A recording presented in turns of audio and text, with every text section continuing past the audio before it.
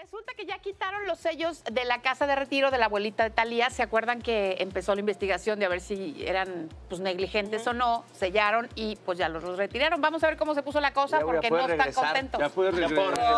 No. Ya Ya puedo reciban a nuestro ratito, Ya, por favor. Continúa la polémica en la casa de retiro donde se encuentra la señora Eva Manje, abuela de Talía y Laura Zapata.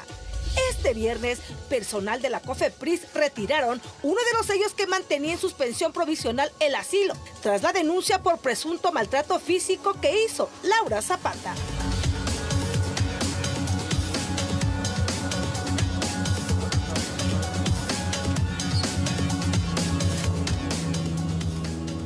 Ernesto Cisneros, vocero de los familiares de los 52 adultos mayores que residen en la casa de retiro, dijo que ya es momento que Laura Zapata ofrezca una disculpa pública y salga del lugar donde se encuentra desde hace varias semanas.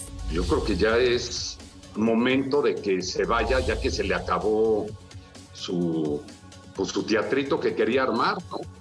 Entonces, si le queda un poquito de dignidad a la señora Zapata, pues que pida una disculpa pública por todo el daño y trastornos que ocasionó a los demás adultos mayores y, y que se retire a su casa.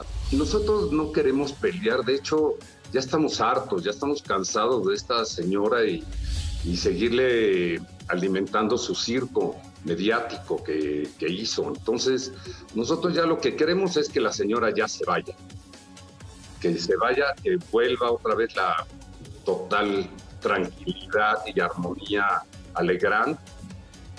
Eso es todo lo que queremos, de veras, no nos interesa estar peleando. La actriz Itati Cantoral también se suma a la polémica y sale en defensa de Laura Zapata y pide justicia para la abuelita de Talía. cualquier persona adulta tiene que tener un buen trato, ¿no? Entonces todas estas, todas las personas que no se cuidan y que se dedican al servicio, en este caso las nanitas pues, desde los de los bebés y de los ancianos, pues los ancianos y los bebés son, son iguales porque es gente que está en desventaja, que son seres vulnerables.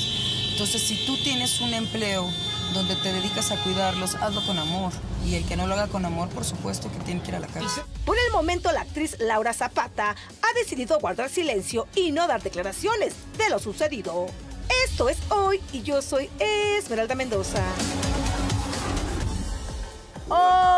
Viste, bueno, el, el vocero, mm, que ya se fuera Laura, pero yo creo que también la abuelita. Pues se tiene la que abuelita. llevar a la abuelita. Sí, se tiene que llevar a su Ay, Parece también se la que- lleve Talía a su casa, que la ponga A en la un nieve, cuartito Nueva York. Sí. Parece que sigue ahí la abuelita de Talía. Sí, ahí está todavía. Pero, pero Sí, a lo organizó mejor... una fiesta COVID y este, la abuelita. Oh, no, Ah, no. bromas, no. Oye, Para no, festejar. no, pero lo, ¿qué iba a decir?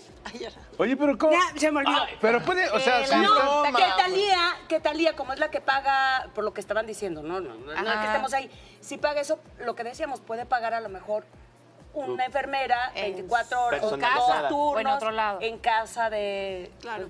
Oye, Laura, ¿cómo? que era donde lo tenía. ¿Clausuran y- Ay, yo ya arreglándoles Sí, ya. la vida. la- O que se vaya a vivir con Tommy y todo, y, ¿no? Al Oye. castillo de las afueras de Nueva York. Oye, pero, En los cantan. pero los clausuran y. No, se quedan da la adentro los viejejitos. ¿o Es cómo? lo que nos preguntábamos, ¿estaban adentro los abuelitos? Los, Los- cuando Sí. ponen los sellos, yo creo que sigue Sí. funcionando el Sí. lugar, Sí, pero bueno, ya no reciben Pero a nadie. ya no reciben visitantes. Bueno, pues que sea lo mejor para todos los abuelitos que están ahí, que sea lo mejor, por los que favor. sufren. Claro.